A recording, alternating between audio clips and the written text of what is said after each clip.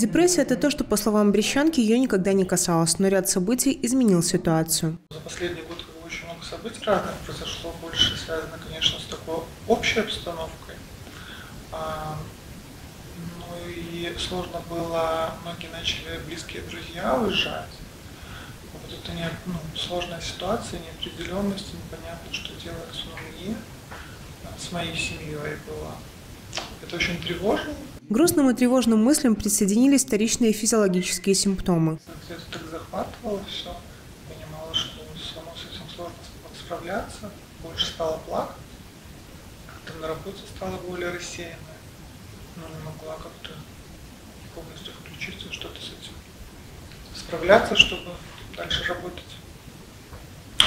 Ну, в семье как-то еще держалась, но все равно уже нам очень хотелось там заниматься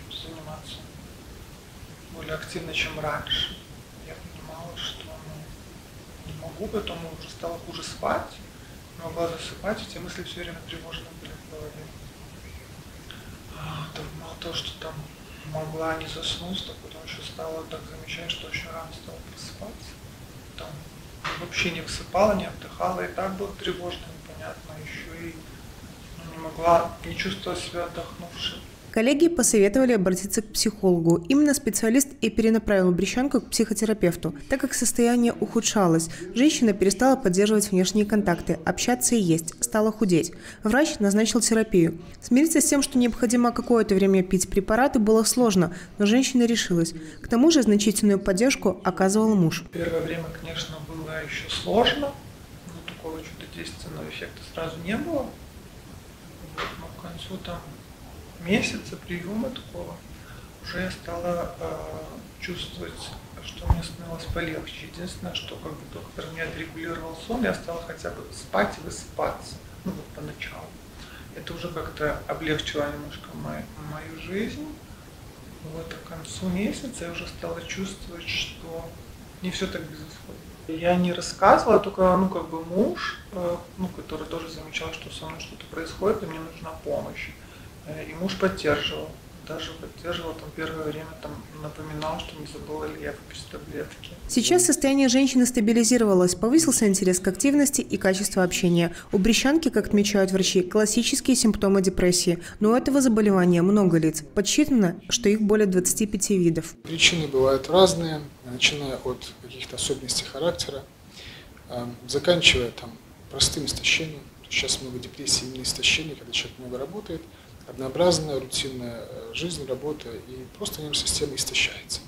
Ну да, бывает, когда какие-то психологические моменты связаны именно с тем, что человек э, воспринимает как-то особенно ситуацию жизненную, тоже бывает. Частыми пациентами врачей сейчас становятся социально успешные люди, которых постигло так называемое выгорание, под которым тоже может скрываться депрессия. Тоже сейчас очень много э, называется маскированная депрессия, конечно, психосоматическая, когда человек не чувствует ни тоски вроде как, ни печали, ну, сон может быть не так нарушен, а его беспокоят соматические проявления, то что там где-то боли, голова болит, там, желудок, поясница, боли разнообразные, при этом ходит к терапевту, обследуется, а причины не находят.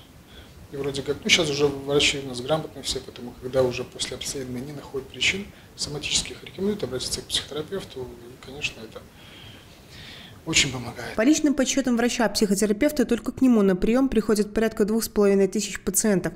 Цифра весомая. К тому же в помощь к медикаментозному лечению есть и когнитивно-поведенческая психотерапия, эффективность которой доказана в лечебной практике. Сам по себе депрессия хорошо лечится, быстро проходит при современном приеме, не нарушает какие-то психические функции, то есть человек не сходит с ума, там, он нормальный, нормально, адекватно общается, работает, поэтому не нужно никаких ограничительных мер, в принципе, вообще по депрессии. Ну, да, люди хотят, чтобы вообще фигурировало где-то какие-то данные, поэтому анонимно. Опять же, почему анонимно? Потому что депрессия такое заболевание, которое можно лечить анонимно.